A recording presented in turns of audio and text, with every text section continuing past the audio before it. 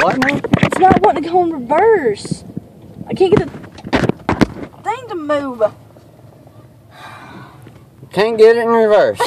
Shut up. Yes. It just it won't. Ooh! Don't, don't tell nothing. Yes, ride with her, please. Really? I, I know I, I know I ain't gonna reverse, and I'm not telling her.